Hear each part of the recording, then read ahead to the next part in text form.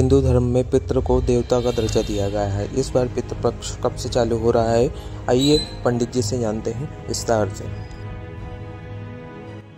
हमारे भारतीय धर्म में तथा हिंदू धर्म में कहा गया है कि पितरों को देव के सम्मान कहा गया है।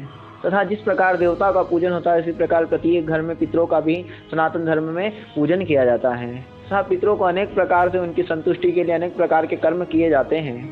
तथा अभी पितृपक्ष आरंभ होने वाला है। सत्रह सितंबर से प्रारंभ होने जा रहा है तथा दो अक्टूबर तक रहेगा।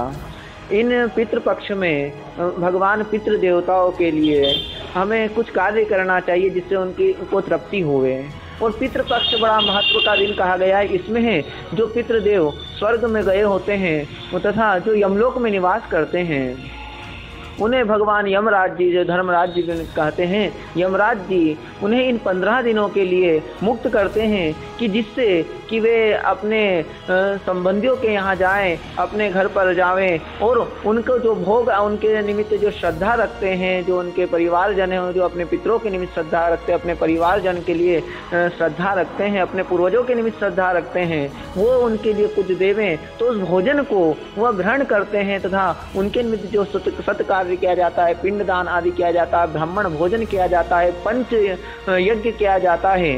पंच यज्ञ किए जाते हैं, इस प्रकार अनेक प्रकार के कर्म पितृपक्ष में किए जाते हैं, जो कि देव, पितरों पितृ को संतुष्ट करने के लिए करते हैं। तथा इन पितृ पक्ष में इस प्रकार के पितृ देवताओं को संतुष्ट करने के लिए कर्म किए जाते हैं, परंतु इस पितृ पक्ष में कुछ कार्य हैं जो कि नहीं करना चाहिए। पितृ पक्ष कहा गया है कि पितरों के लिए प्रमुख है। इनमें सिर्फ़ पितृ कार्य ही करना चाहिए और पितरों के लिए जो भी कार्य करें, वो भगवान पितरों, पितृदेव को समर्पित कर करके करना चाहिए। यहाँ पर विशेष कर कहा गया है कि पितृ पक्ष में किसी भी शुभ कार्य को आदि नहीं करना चाहिए कि जैसे कि नए कपड़े लेना, वाहन खरीदना या ग्रह प्रवेश ऐसा नया कार्य नहीं करना चाहिए। इन कार्यों को न करे, तथा तो पितरों में श्रद्धा रख कर करके पितृ के निमित्त निमित्त कार्य करना चाहिए। जो इस पितृ पक्ष में भगवान पितृ देवताओं को संतुष्ट करता है, उन्हें प्रसन्न करता है, वह घर में धन्य धान्य की आदि की वृद्धि देते हैं, तथा सुख समृद्धि आदि प्रदान करते हैं।